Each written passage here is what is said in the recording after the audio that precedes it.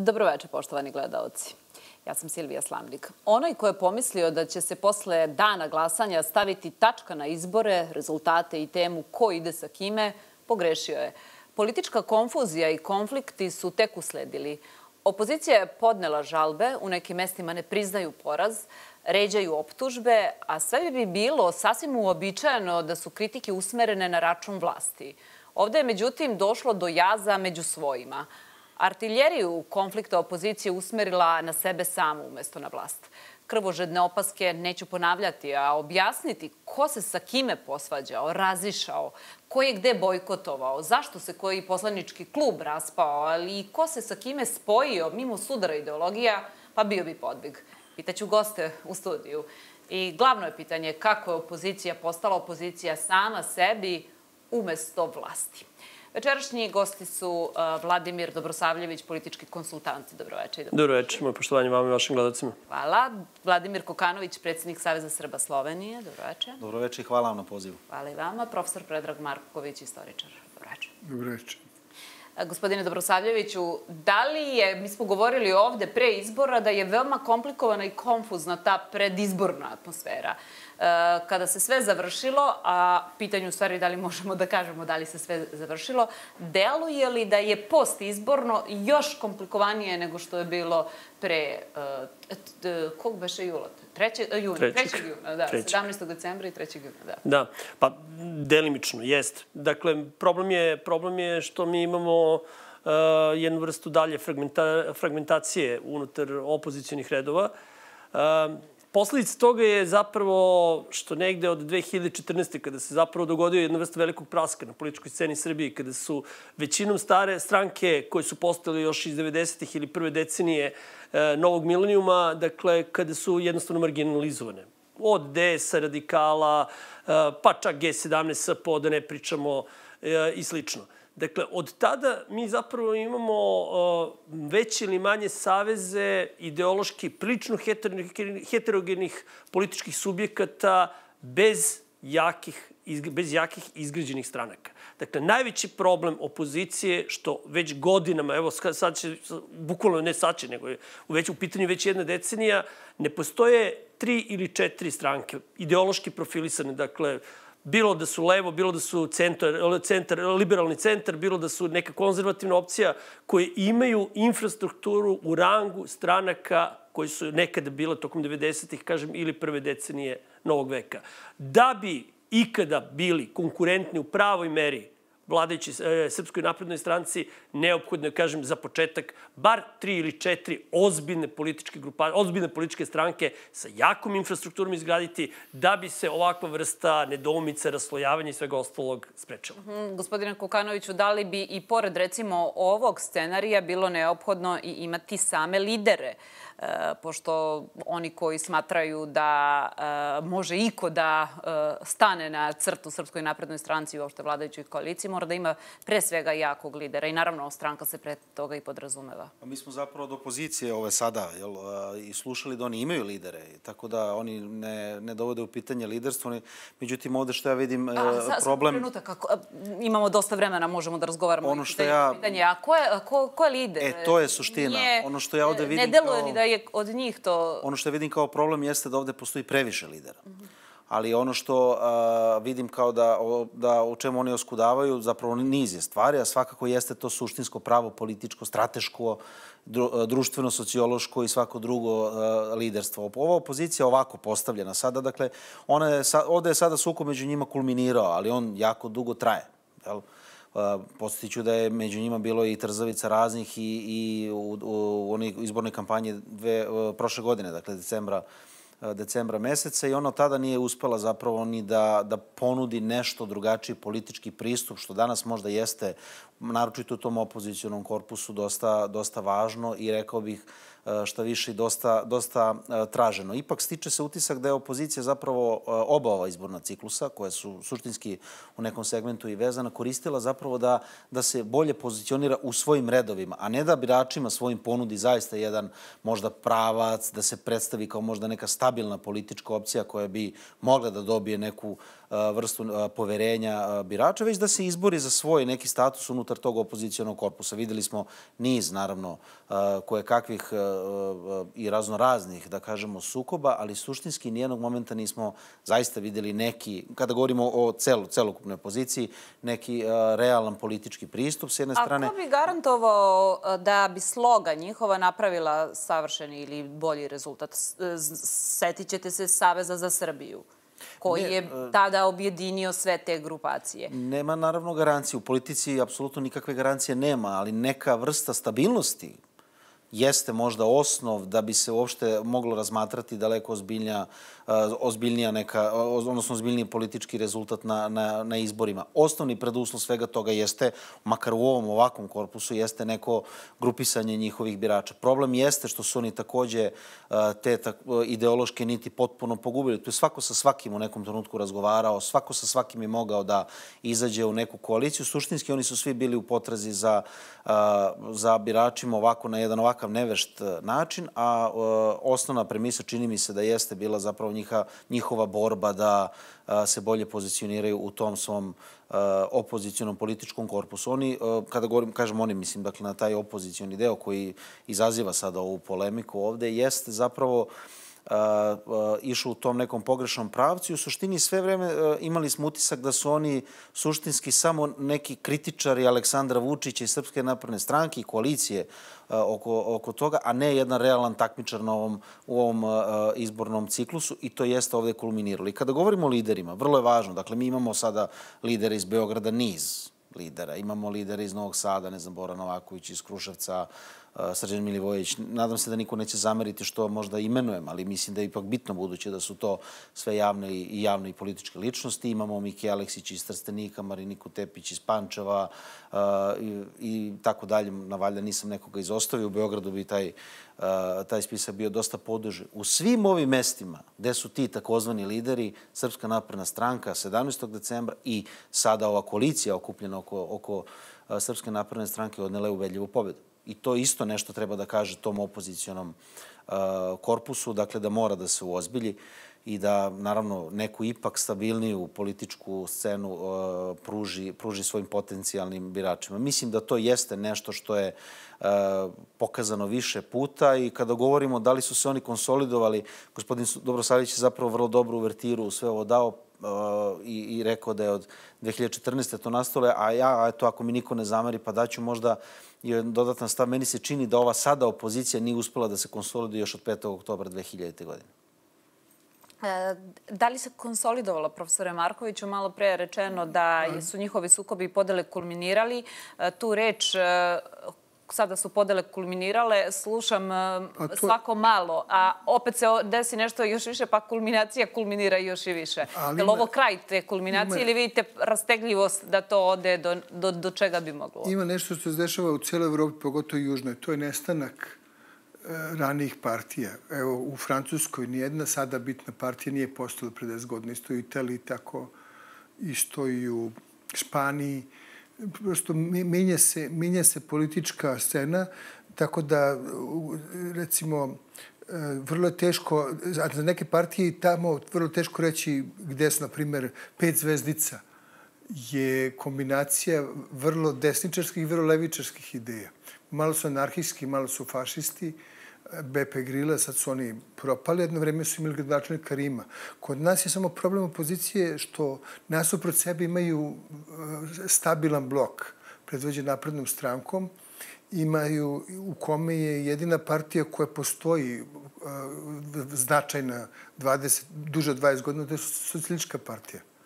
Sve partije... To, to kažete sasvim nepristrasno, ili možete da kažete sasvim nepristrasno? Pa ne, ne, ne. dobro, dobro postoji ono, brojevi su brojevi. Postoji Rasim Ljajić postoji Rasim Ljajić, postoji, sad ne znam, ove sanđačke partije i one menjaju imena, ne može čovjek da ih baš šuvati, ali od ovih partija većih e, postoji Solička partija, ali u svakom slučaju taj blok koji je nastao kod naprednjačke stranke je stabilan i to dodatno interesantno da ta stabilnost dodatno pojačava snagu tog bloka, tako da e, prosto ta razdrobljena opozicija da je teško zapamtiti ko je gde, jer ljudi e, dosta, je haos vlada na Ali to. kada govorite o snazi, a i sami pominjete socijalističku partiju, ne biste ni prvi put odgovarali, a da vas čak i ja pitam, e, i govorite o snazi SPS-a, a ta snaga se fakat izgubila sada u ne, tom zato širem što, bloku. Zato što je taj e, prosto Kako je to SPS mogao sebi da dozvoli više decenijska partija? Pa zato što je po, polarizacija e, glasova je bila za Vučić ili protiv. I onda je deo glasova otišao na prednjacima na decembarskim izborima zato što ljudi nisu hteli da rizikuju.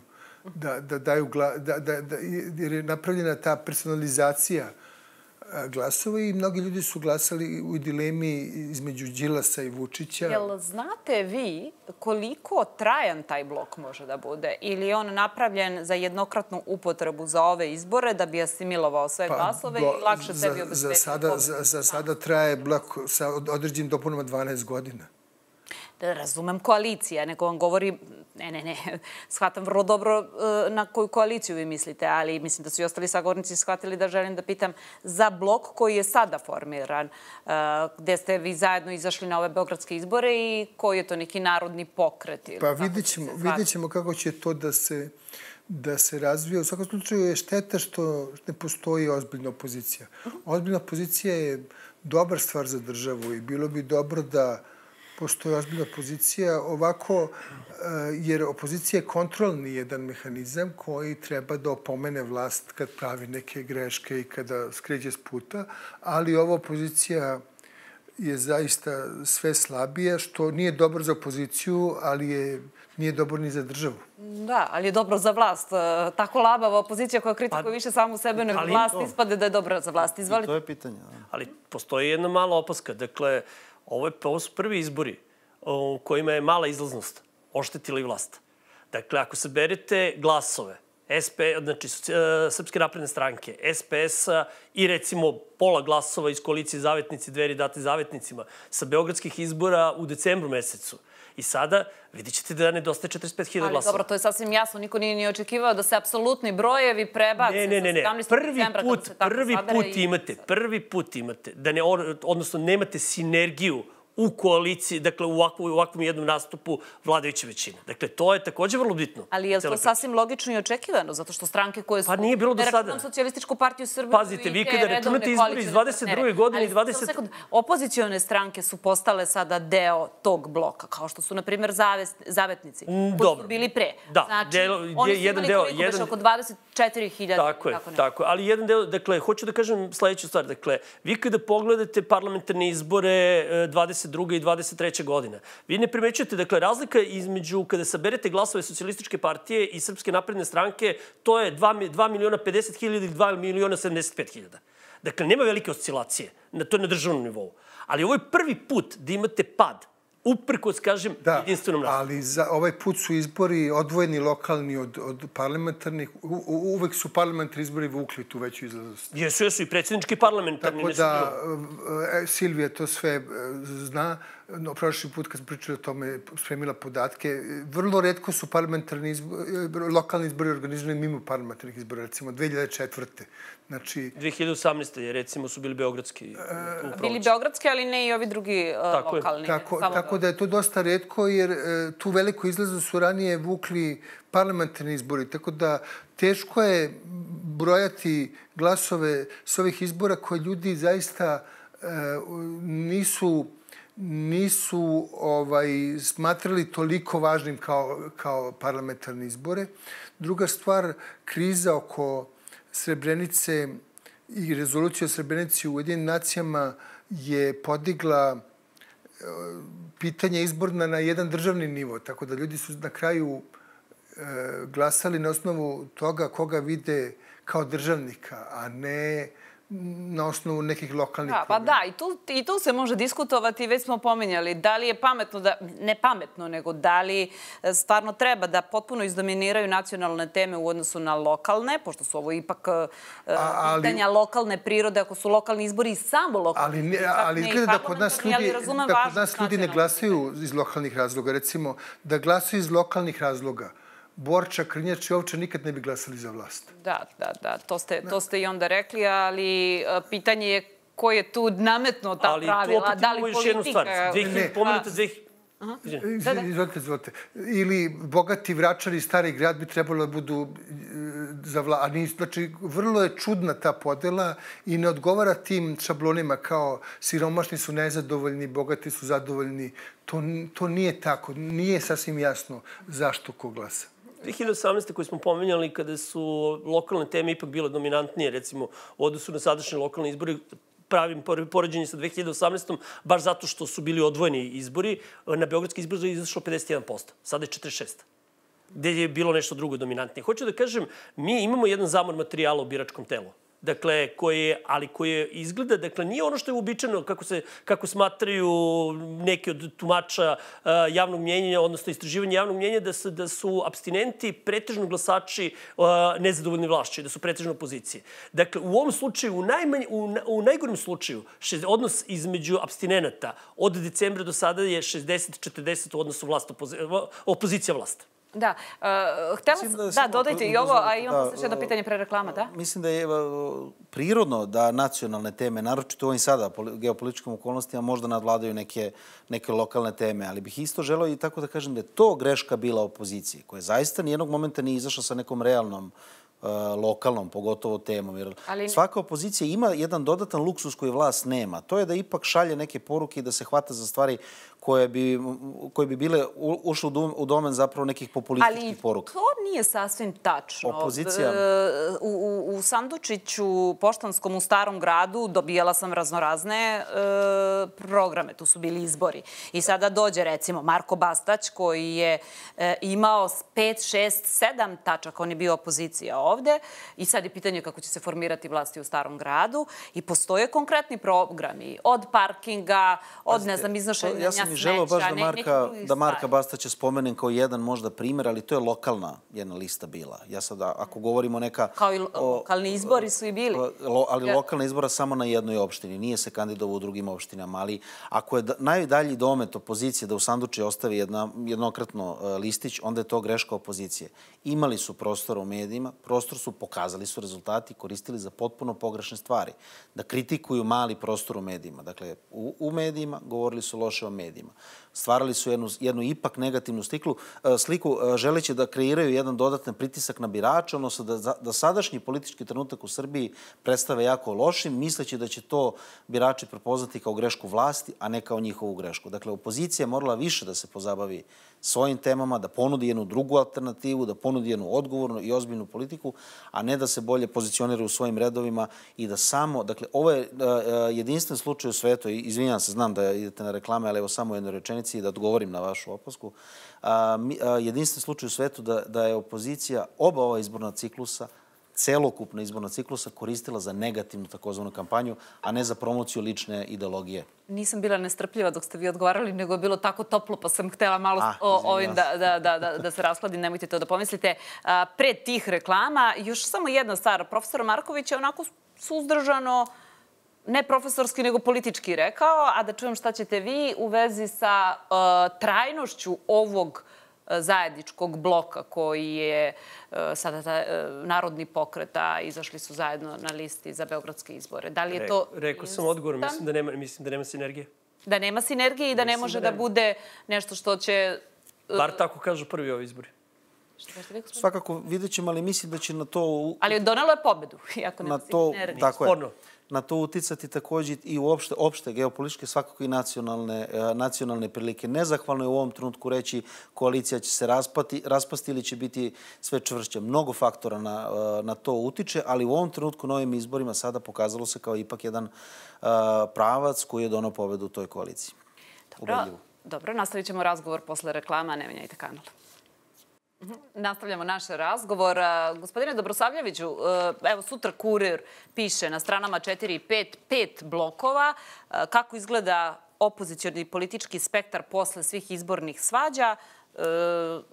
Dragan Đilas u jednoj formaciji, Miroslav Aleksić i Radomir Lazović, Zeleno-levi front u drugoj, e, Branimir Nestorović mi u trećoj, e, Miloš Jovanović Novi DSS u četvrtoj, Savo Manojlović Kreni promeni u petoj.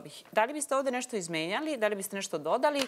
I ono što je nekako e, pitanje zašto, da li u stvari građanima dosadilo više da gledaju političke te partije i stranke i da za njih glasaju, jer je isto više simptomatično to što su grupe građana uzele primati dominaciju po rezultatima e, na ovim izborima. Pa ta, Kao da su građani prevazišli. To ta hipoteza bi važila da ne glasaju istovremeno za dve organizovane stranke kao što su Srpska napredna stranka i Socijalistička partija Srbije. A očigledno građani glasaju takođe za njih. Po, problem je u tome što vi... Ali izuzetno glasaju i za ove grupe građana. Problem je u tome... Grupe građana su zapravo posledica nedovoljno dobre ponude od sa druge strane, sa strane opozicije, odnosno opozicijonog bloka. Dakle, vraćam se na ono što sam rekao, pošto sam negde rekao na početku.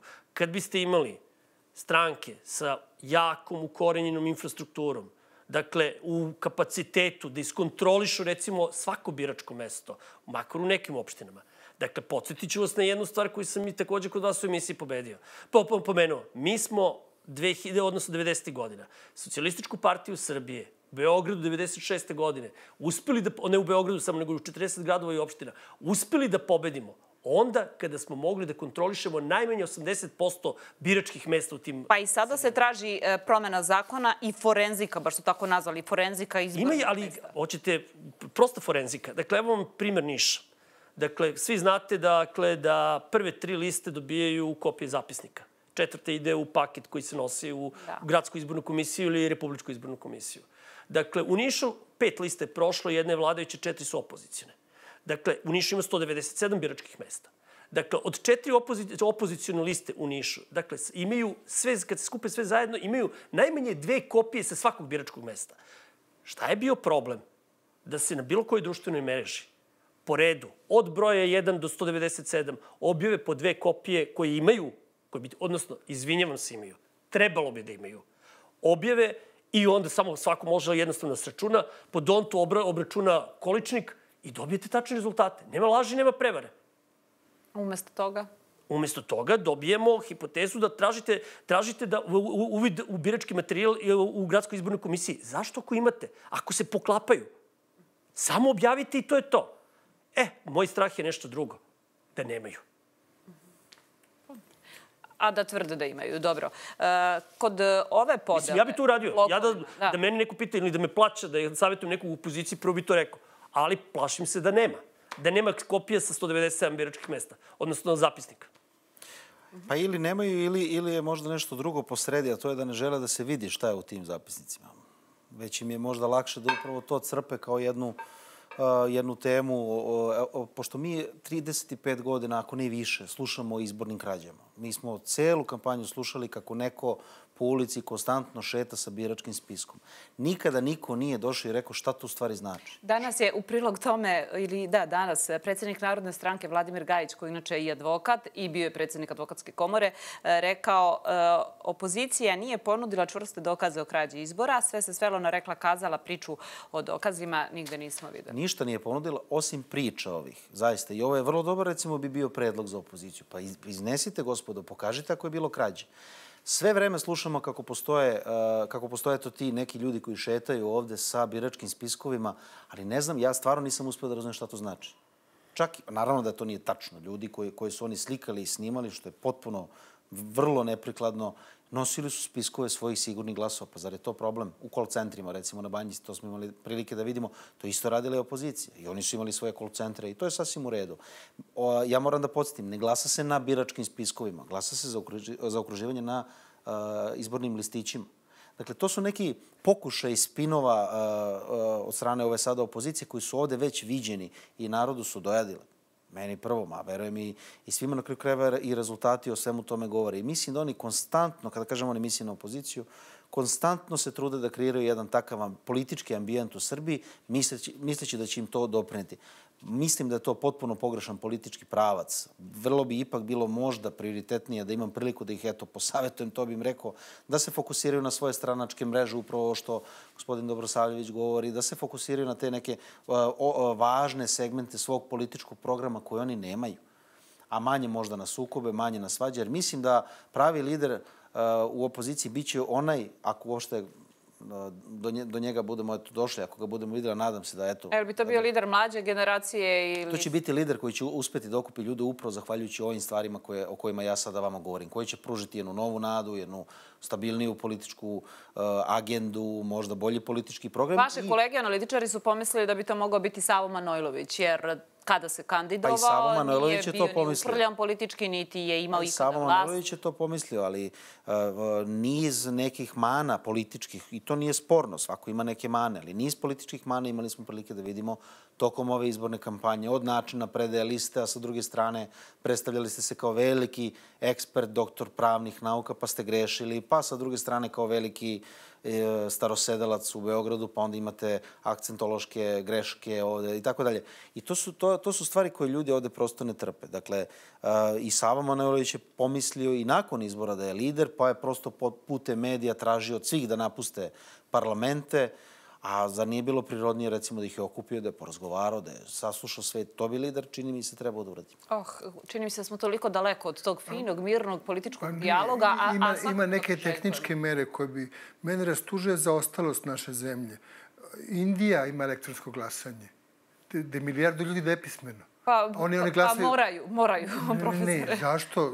Estonija uvela pre 20 godina elektronsko glasanje. Belgija znači, takođe. Sve priče o izbornoj krađi bi nestale. Elektronsko glasanje munjevito se prvo vidi rezultat. Istog sekunde se vidi rezultat.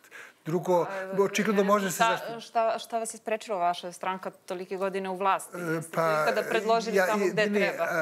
Ja mislim da to treba opozicija da predloži. Znači, prosto stalo kako izbornu krađu. Najpošteniji e, ovaj, izbori bi bili elektronskim glasanjem. To znači da vaša stranka treba da ode u, u opoziciju da, da bi ne, to predložili? Ne, što bi rekao Ivica Dačić, opozicija nije dobra stvar. da. Prvo, uh, u siromašnoj zemlji je teško izdržati opoziciji zato što ljudi ne vole da finansiraju iz svog džepa stranke.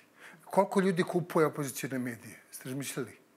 E, mislite, kako, kako, kako, kako, mislite kako, koliko ljudi pristalice, opozicije? Pristalice opozicije podržavaju svoje strake samo koje džabe. Iskreno, ne volim ni da čujem tu podelu na, kada je reč o medijima na opozicijone, na nezavisne, na pozicione. Sve, jedno, sve jedno, ovaj... Jako se trudim dobro, da... Dobro, ajde, ajde kažem nešto drugo. Ne upadam Koliko, u te košare. Pošto, šta je tu problem jedna zamka iz koje skoro da nema izlaza? Znači, e, ljudi nisu spremni da ulaže nešto u, u politiku. U, u ozbiljnim zemljama se e, e, ljudi finansiraju svojom imovinom političku borbu, a ne imovinom nekog tajkuna ili državnom imovinom. Ko, to je ko kod nas. Prema tome, e, dok ne bude ta svest bila politička tolika, da ljudi svojim imovinom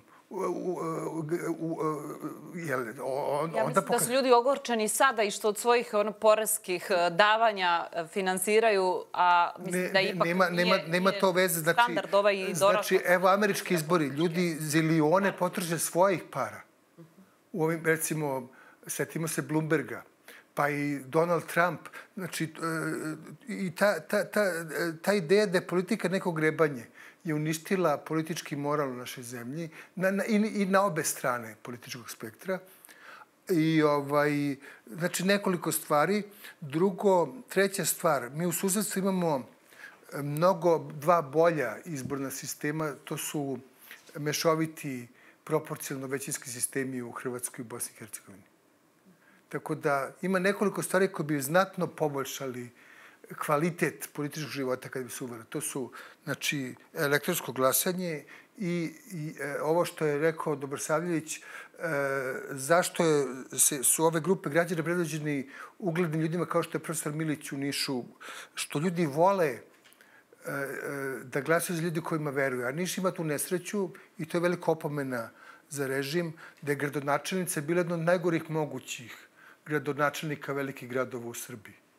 Znači, vi imate čoveka koji je heroj na, narodni heroj, e, skratio liste operacija ovo. Imate ženu koja je napravila svaku moguću grešku koju možete napraviti. Tako da mora da se ozbiljni... Zato se i desio otklon. Sigurno.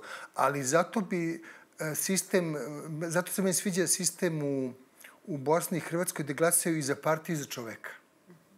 E, kada se govori o, o ideologijama, malo pre sam otvorila ovu temu o pet blokova, da li biste još nešto dodali? E, jedan je Dragan Đilas, SSP, Zdravko Ponoš, taj Srbija centar. Drugi Miroslav Aleksić, e, Radomir Lazović, Zeleno-levi front. Treći Branimir Nestorović, Mi. Četvrti Miloš Jovanović, Nova DSS, mada su oni sada više bliži ovde SSP-u, pa nisu otišli na izbore, bojkotovali su i peta Savo Manojlović. Jel biste stavili još i neki red, šest, sedam, ili ovde skratili, suzbili? E, e, jel uopšte mm, normalno, da li je možda dobra pa, reč, ali normalno se, ideološki ovaj, da se spoje Đilas i Miloš Ivanović, kao pa, što se spoje. Ideološki, ideološki grupacija koja je izašla iz, ovaj, kao bira borbu i ova druga koja je bojkotovala sa Đilasom i Ponošem, su zapravo jedna vrsta levih liberala. Bi trebalo, to bi trebalo da bude njihov ideološki. Oni nemaju ideološke diferencijacije da, a, ali su se odvojili, pa upravo zbog tog Ali to je, to je ipak operativno, to je ta, taktičko-operativna odluka koja ne utiče, nema veze sa ideološkom e, da. diferencijacijom. E, a upravo to, a taktička odluka Miloša Jovanovića i Dragana Đilasa je bila da ne izađu na izbore, to im je bila spona, dakle bojkot, ali su politike i ideologije u, sas, u katastrofalnom sudaru. Da, tu sada možemo i postaviti pitanje odgovornosti. Dakle, oni su garantovali da svojim izlaskom na izbore da će neke stvari mnogo bitno promeniti u ovoj zemlji i promenili su. To je da vladajuća struktura uzme još veći, odnosno osvoji još bolji rezultat na izborima. I mi govorimo o pet blokova, mislim da bi tu moglo dodati još mnogo blokova, ali zapravo uh, bolje, bolje je pitanje, s obzirom da je uh, u tom opozicionom uh, bloku situacija prilično zavrela onda je bolje pitanje e, šta će nas zateći evo sada kada izađemo iz emisije, da li će se i tih pet blokova posvađati među sobom. Oni se konstantno svađaju, konstantno se mire, ali nijednog momenta se nisu posvađali oko ideoloških razlika ili, ili ideoloških sličnosti. To je zanimljivo. Posvađali su se oko fotelja, posvađali su se oko novca, posvađali su se oko pristupu medijima i tih nekih stvari. Birači to gledaju, birači to pamte. I zato birači to kažnjavaju na, na izborima, u ovom slučaju lokalnim, pre toga i na, i na parlamentarnim, pro, prošle godine, 17 decembra. Tako da to je, to je nešto što je ovu sada opoziciju zapravo Jel krasi. vidite nekoga ko je ovde najveći potpirivač ili nekoga ko vuče konce da bi se desio ovakav ishod konflikta? Mislite ko je lider opozicije u potpirivanju? Pa, pa mislim može da tako reći. Da i u tom smislu reći. ima tu puno lidera. Gotovo da svi potpiruju.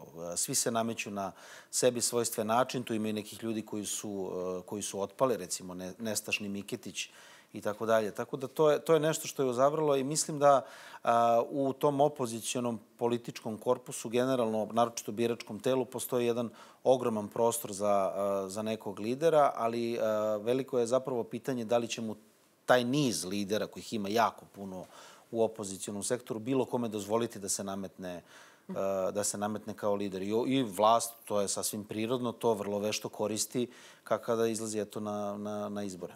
Gospodin Kokanović je rekao, ne znam šta će biti kada izađemo iz ove emisije, da li će se još i neko uh, posvađati. Juče da smo razgovarali, ne bih imala ovo pitanje da postavim, pošto se umeđu vremenu desilo. Dakle, još jedan konflikt u novom DSS-u između lidera DSS-a Miloša Jovanovića i medijskog koordinatora, dugogodišnjeg Uroša Pipera u toj stranci. E, Piper je napustio stranku, izneo je vrlo konkretno u javnost razloge zašto je to uradio. E, rekao je da je stranka potpala pod potpuni uticaj Dragana Đilasa i Zdravka Ponoša, da je odustala od ideologije koju je zastupala, da je postala korisni idiot, tako se izrazio, za potrebe probriselske opozicije. To su njegove reči.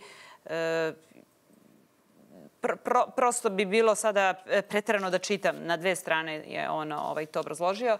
E, jel vidite i ovo kao neki potres? Ima li Uroš Piper pravu kada ovako nešto kaže? E, slobodno, kad je već reč u javnosti, korisni idiot za e, lidera novog DSS-a, da li je pregruba reč, samo maliciozna zbog te svađe ili može da se... To je Lenin rekord. Ovaj Uroš, Uroš Piper je, je novinar, tako da kao novinar ima pravo na svaku kritiku, ali što se tiče stranačkih sukoba, sad je tu veliko pitanje praktičnosti. To sigurno veoma, taj sukob slabi dodatno novu DSS, tako da to nije neki politički mudar potez da napadne Miloša Jovanovića, pogotovo što e,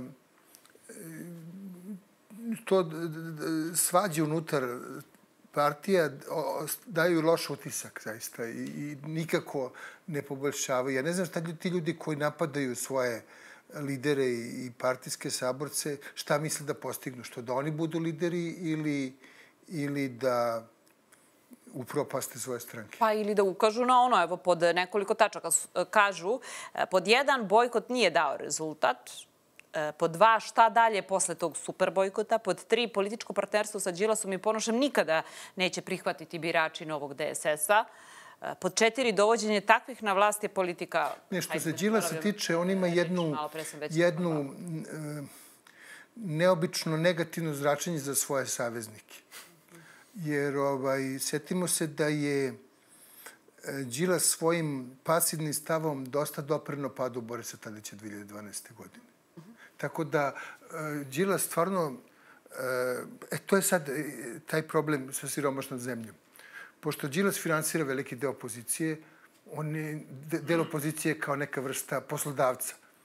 A e, bilo bi neverovatno iznenađenje da Đilas ostvari, na primjer, lično neki politički uspeh. Prosto nekako narod ga ne želi. Uh Da li je e, Dragan Đilas e, naškodio novom DSS-u tako, tako strašno? Pa potpuno se slažem. Ili je Dragan Đilas sam, od, da, ili je DSS sam sebi naškodio? Pa, mislim, uvek je najpristojnije reći da je DSS sam sebi ovaj, sada nas, ovaj, naškodio, budući da je sam doneo odluke. Mislim, prosto, ako je on poslušao Dragana Đilasa, opet je odgovornost na njima. Što se gospodina Pipera tiče, on se zapravo samo poslužuje jednim standardnim opozicijonim manirom, a to je da kada se naljuti izađe u medije i kaže sve što misli. Naravno da bi prirodnije bilo da je na stranačkim organima dao svoje sugestije, pokušao stvari da promene, ali to bi bilo normalno za jednu ipak dobro organizovanu političku, političku opciju. I ovo je samo jedna kap u moru ovih opozicijonih svađa, a koja zapravo definiše da i govori nam zapravo sasvim sigurno da na opozicijonom bloku još uvek nemamo jednu stabilnu političku, političku opciju, jednu sasvim sigurno ne. Jedna od opaski je i da bi sada DSS e, spala na 2,5 od 100. Podsjetite me koliko su oni su imali nešto 5-6 na, na poslednjim beogradskim izborima. 5 koma nešto. 5 koma nešto, da. 5, znači prepolovili su, odnosno da li mislite da, da su se zaista prepolovili? Dobro, to je hipotetički. Dakle, mi nemamo relevantno istraživanje javnog mjenja koje je merilo recimo DSS u trenucima, dakle, za ove, za ove lokalne izbore, pa da kažemo oni su sad na 2,5 ili 3%. Pa dobro, Možda... ali načelno mislite li da pa, postoji dobro, to je, pad? To je, više, to je više kažem, politička ocena nego što je ove što bi rekli faktografija. Ali s jedne strane za DSS je u dva poslednje izborna ciklusa bio jedan od, ako, ako može da se kaže, uslovnih dobitnika. Dakle, oni su izašli dva puta na izbori i imali blizu 200.000 birača. Dakle, nisu oscilirali, stabilizovali su biračko telo to je za srpske uslove, pogotovo, kažem, u ovakoj, da tako kažem, nestabilnoj političkoj sceni, prilično veliki uspeh. I to je prostor na kojem dalje možete da, na koji, sa kojeg ste dalje mogli da gradite svoju poziciju, jer ne treba zaboraviti, dakle, postoje ajde da tako kažem, načelna ta priča. Dakle, da levo-liberalna opcija treba da se obraća pre svega abstinentima, ili se među abstinentima nalazi najveći deo njihovih potencijalnih birača, a da uslovno rečeno ta takozvana desno-nacionalna opcija treba da se obraća nezadovoljnim biračima uh, uh, SNS-a, odnosno vladajuće stranke. Nešto slično tome smo mi imali u aprilu 2022. godine. Tada je, podsjetit ću vas, Srpska napredna stranka izgubila preko 300.000 birača. A 100.000 je otišlo SPS? 110, 110.000 se vratilo. Vratilo se, vratilo, se, da. vratilo se SPS-u. Ili SPS od 2012. godine imao trend, trend pada, odnosno prosto u koalicijama sa SNS-om su njegovi birači nisu previše pravili razliku između SNS i SPS-a, tako da su to ono pa je odlazilo SNS-u. U ovom slučaju, zbog specifičnih okolnosti, tih 110.000 se vratilo. Ali pored tih 110.000, još 200.000 birača je otišlo ovim grupacijama oko DSS-a, Zavetnika i Dveri, između ostalog. Da. Ove, ja bih samo skrenuo pažnju koliko je čudna politička e, geografija i drugačija od, od ranije. Već se svi govore o partijskoj infrastrukturi kao važnom faktoru kakvu infrastrukturu ima Nestorović, koji stalno poboljšava rezultat? Očigledno samog sebe, pošto je sva infrastruktura ne, ostala kod sedam osnivača i ne, ne, a, ali vidite koliko je, to, koliko je to neobično vreme. Znači, e, promenila se, e, promenila su se pravila i, i načini političke borbe, tako da Nestorović niti ima infrastrukturu, niti ima članstvo, a stalno poboljšava rezultat. Da. Znači, to, to protivreče onome što smo nekad učili. Infrastruktura, organizacijni rad, on čovek je uh, jel stvarno uh, one man show, što bi rekao naš narod. Pitaću gospodina Dobrosavljevića posle reklama kako to, pošto ste vi baš na početku govorili o toj infrastrukturi. Da, fenomen je uh, profesor dr. Branimir Nestorović. Uh, vratit ćemo se za nekoliko minuta našem razgovoru ono što je ipak ostalo kao najveći znak pitanja su sledeće opštine i gradovi. Niš, Čačak, Stari grad, opština i Vračar. Da. Tu se čeka formiranje vlasti, to su te četiri dobro, a, koje nisu dobile... Pa dobro, u toku je žalbeni proces na da. rezultate. Koliko to može da potraje pre pa svega? Pa može, i... može, zavisi. Dakle, ima i sudska instanca koja treba da odluči, naravno, po ubrzanom postupku mogu da se ovo može da se desi da se ponište na nekim izbornim mestima. Mislim, sve zavisi od dokaza. Mi za sada nemamo u javnosti ne, nemamo dovoljno jasno predstavu o tome sa kakvim se dokazima raspoloži, sa čim se išlo pred uh, izborne komisije kao žalbom, dakle, uh, kao žalbama, znači pred, pred gradskim izbornim komisijama u ovom slučaju. Dakle, ili sad na, u nastavku pred sudovima. Dakle, od toga će u najvećoj meri zavisiti ali meni ovo ne deluje kao da će se relativno brzo razrešiti ni u jednoj od te četiri sredine. Nadam se da vam ne deluje da će se brzo razrešiti uh, i ova vlast koja, koja je posle ovih izbora napravljena. Zašto? Zato što svi su umorni, došlo do tog zamora materijala kad se pomene izbori, glasanje i sve ostalo. U poslednjih deceniju koliko je bilo samo izbornih ciklusa, vanrednih e, i premijer i e, predsednik su rekli da izbora neće biti do 2027. godine. E, jel deluje da je ovo sada tako stabilno i da neće biti prevremenih. Delovalo je i pre stabilno. Pa, kada baš zato i pitam. I pre je delovalo, ali ipak se desilo. Ipak se desilo što je posledica, ponovo se vraćamo, raznih i niza, niza okolnosti, naročito onih, uh, onih geopolitičkih. Pominjemo ove opštine.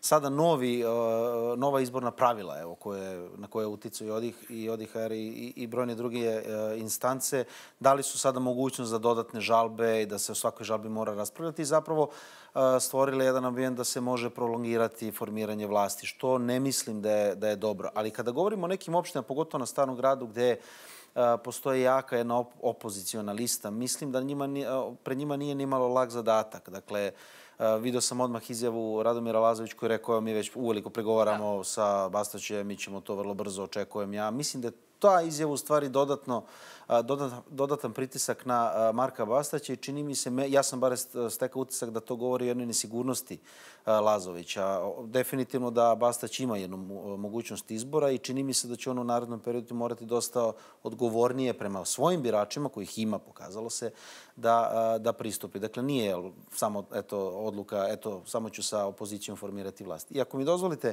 govorili smo o provetravanju u, i potrebom za novim liderima unutar opozicije, to ipak ne govori da, da ni vladajuća struktura neće primeniti taj metod i možda dovesti neka nova lica i primeniti nešto što, što jeste opšte pokazalo se kao koristo. Pa evo recimo, čini mi se da u Socijaličkoj partiji Srbije sada vidimo i neka neka nova lica, evo i ovde je gost i, i u nekoliko navrata smo se susreli sa gospodinom Ibrahimovićem, video sam da jako dobro barata s trenutnim situacijom, trenutnom situacijom uopšte geopolitičkoj sceni, a i u regionu, što je za mene posebno, posebno važno. Tako da hoću da kažem da očekujem da će izbor, da će i ne samo Socijališka partija Srbije, već i cela vladajuća struktura takođe se uh, poslužiti ovom metodom koja se pokazala dosta korisnom do sada. Ja mislim da bi morala opozicija da prvo umanji te suete lidera. Ima jedan, e, uvek je procedura dobra stvar.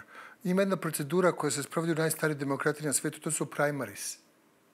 Znači, oni se svađaju ko je pravi vođa, a najbolje bi bilo ko u Americi, da, da imaju interne izbore. I da onda članstvo, ako ga ima, to nije baš jasno koliko je članstvo mnogih, da li postoji uopšte članstvo neka ali svejedno, ove partije koje smatruju da imaju članstvo, treba stvarno da se e, ti lideri izlože riziku da, da se vidi da su oni zaista lideri. Jer mi ne znamo kako su ti ljudi postali lideri. Što, zato su primaries, ja sam uvek za uvođenje procedure.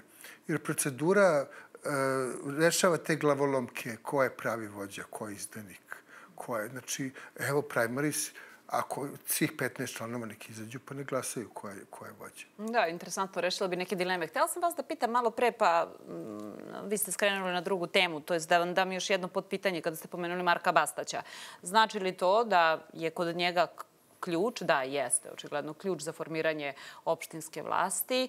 Rekli ste jasno da može da praktično bira i nije nemoguće da izabere i vladajuću stranku, a ne, ne mislim. Da bi to, ne mislim da bi to bilo neodgovorno, budući da će definitivno vladajuća struktura a, imati dobro, vlast. Kako mislite da ne bi bilo neodgovorno ako bi oni koji su glasali za njega i dali mu poverenje ipak očekivali da je on, njegov glas, to je glas za njega, glas protiv vladajuće. Pa upravo zato što smo rekli da Marko Bastać je jedan od redkih primjera koji je imao jedan, jedan realan lokalni, lokalni program. Kako ga sprovesti ako ne pristupite uh, znatno odgovorni. Nisam stek utisak da je Marko Bastać bio neko ko, će, ko je svojim biračima ponudio borbu protiv Aleksandra Vučića za razliku od drugih delova, delova opozicije. Tako da ako vi smatrate da imate dovoljno dobar politički program i da želite da ga primenite, odnosno da stvari promenite na bolje, uvek se stvari mogu menjati na bolje, onda morate daleko odgovornije pristupiti. Dakle, vrlo je i više nego jasno da vladajuća struktura će imati vlast definitivno u gradu Beogradu,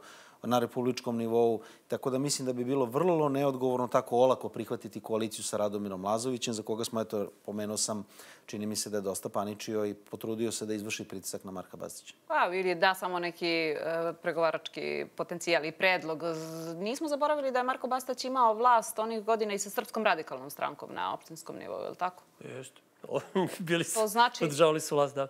Da, to znači da E, da, da li to daje neki inpute da može da se zaključi šta će uraditi sada? Nije, dobro.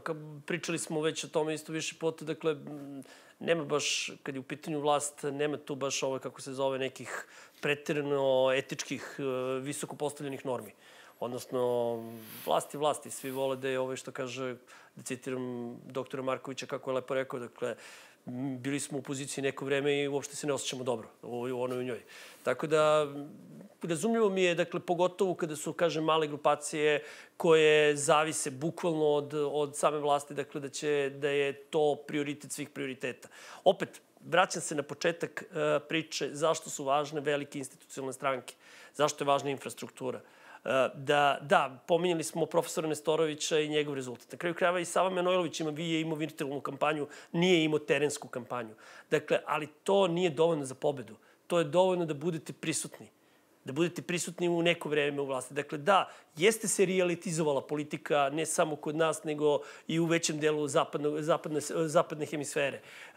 Da, jeste pokreti kao, jeste da postoje pokreti kao što je Pet zvezda, koji su isto tako jedna vrsta, ajde da kažem, političkog vodvilja ili performansa ili instalacije, kako ko hoće, koji je postigo određenog uspeha. Posle par godina to nestaje. Dakle, da biste imali stabilnost političke scene, potrebne su ukorenjene stranke koje postoje decenijima, imaju snažnu infrastrukturu, zna se kako regrutuju buduće članstvo, zna se šta ima politička poruka, kako komuniciraju sa svojim biračima i potencijalnim biračima i što je najvažnije, koje nemaju krizu liderstva nego znaju kako se selektuju novi lideri i kako dolaze do njih. A tu je, izvinjam se, samo još jedna stvar, i tu se potpuno slažem sa doktorom Markovićem, jedna od ključnih stvari u Srbiji je bila bi neophodna promena izbornog sistema. Dobro. E, još jednu stvar da prokomentarišemo, to je današnja vest i time ćemo i završiti večerašnje usijanje. E, dobili smo novog direktora Bezbednostno informativne agencije BIA, e, to je Vladimir Orlić. Prvo, da li vas je to iznenadilo? Šta je njega preporučilo? Koliko kada se promeni čelnik bije, može i sve ostalo da se promeni ili jednostavno to ima svoj način rada, pa nije ni pa, pretarano pa, bitno ko je glavni kadar gore? Orlić je vrlo obrazovan e, čovek koji je vrlo agilno radio u Skupštini, tako da što se toga tiče, zašto da ne, mislim da je, da je Orlić dobro rešenje. A što se bije tiče, e, tu tek predstoji ovaj, redefinisanje, ne samo kod nas, u cijelom svijetu je e, obaveštene službe su u velikoj krizi. Imamo još manje od jednog minuta za komentar na ovo poslednje pitanje u vezi sa Orlićem u Biji. Mislim da je to jedan e, donekle i očekivan, budući da se e, Vladimir Orlić zaista pokazuje kao jedan fin i vaspitan čovjek dobro, dobro potkovan, blizak i, i predsjedniku, što bi u ovoj sada eri bilo i od poverenja i dosta, dosta bilo važno. I kada samo govorimo, pomenuli smo, naravno, doktor Nestorović, ali možda bez uh, nekih tih personalnih stvari, ali hteo bih da kažem kada je uh, infrastruktura u pitanju u politici, to sam negde pročito i volio bih da ponem, je mnogo, uh, mnogo lakše postati nego opstati. Da biste opstali, neophodna vam je infrastruktura, a što se Nestorovića tiče, čini mi se da je to sad pitanje političkog trenutka. Mhm, prof, gospodine Dobrosavljeviću, nemojte otići vi sada na Nestorovića, već jedan komentar ne, za uh, Vladimira Orlića. Nemam, nemam neki pretrni komentar. Valjda oni koji su ga predložili, koji su ga izglasali, znaju da, im, da ima kapacitete za rad sa bezbednostno obaveštenim službama. To je to. Uh, tako je. Hvala vam najviše što ste večeras dali vaše analize i gostovali u Cijanju. Poštovani gledalci, hvala vama što ste nas pratili. Gostovali su profesor Predrag Marković, istoričar, Vladimir Dobrosavljević, politički konsultant i Vladimir Kokanović, predsednik Savjeza Srba Slovenije. Ja sam Silvija Slamnik, ostanite uz Kurir televiziji. Vidimo se sutra uveče u 19 časova na Kurir televiziji. Doviđenja.